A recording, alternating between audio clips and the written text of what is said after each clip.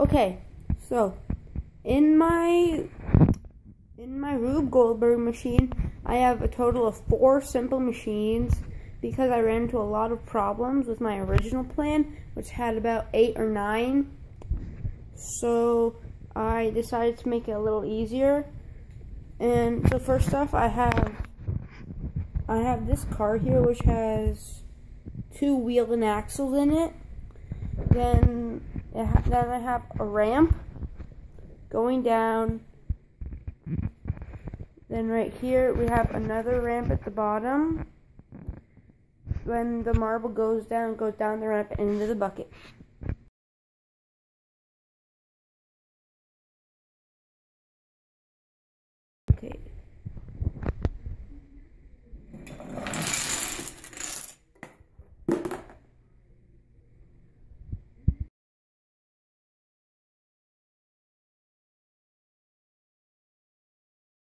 Okay. Question one. What problems did you encounter during your project? Explain.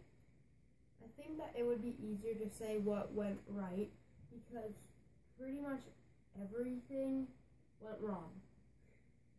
All my simple machines messed up, so that caused me to use a lot of different designs. So yeah, I I had to change a lot. I had to improve a lot on my machines, my simple machines, and my overall project. Question two. Did you how did you overcome these problems? Well, I just explained. I ha I changed a lot of I changed a lot of the planning of each simple machine. I changed pretty much everything. When I encountered a problem that I couldn't fix, that wasn't easy that wasn't an easy fix, I just restarted with a new idea. Question three. Did all of your simple machines work? Again, no. Barely even a little. Like my my zip line ramp didn't work, my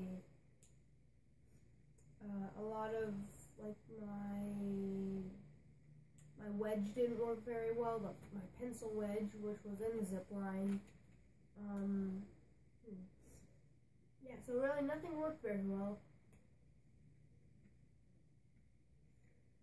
Question four. What would you do different next time? Um, uh, I would do a lot different. Uh, going into this project, I knew that my plan was pretty ambitious, so I really just, um, next time I would make a whole different plan, a lot easier plan, and not make it so complicated. Uh, like, uh, simple machines, like my zip line, I never really expected that to work very well, so I had so many, I had like five levels, so like zip line going down, zip line going down, ramps going down, so by like the time I was finished, I used like seven stacked chairs or something um, to hold up all my stuff. Question five. Identify two points of potential energy in your machine. Well, that's hard to explain without me actually showing you my machine, which I can't. But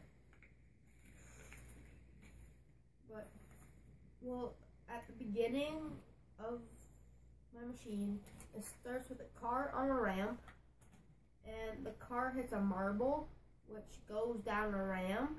That um, that creates potential energy, and then um, and then that then dominoes at another point in the machine. Um, hits another marble, which goes down a which is another source of potential energy. Question 6. Identify two points of kinetic energy in your machine. Explain why it is kinetic energy. When a marble goes down, it flies off a ramp and into a bucket. so that's at the end. Um, that's that's one part of kinetic energy because it's getting airborne and kinetic energy is basically energy of gravity. So then also a marble also hits a domino at the beginning, which I kind of said already, and has a chain reaction, so that has more potential energy. So yeah, that's it.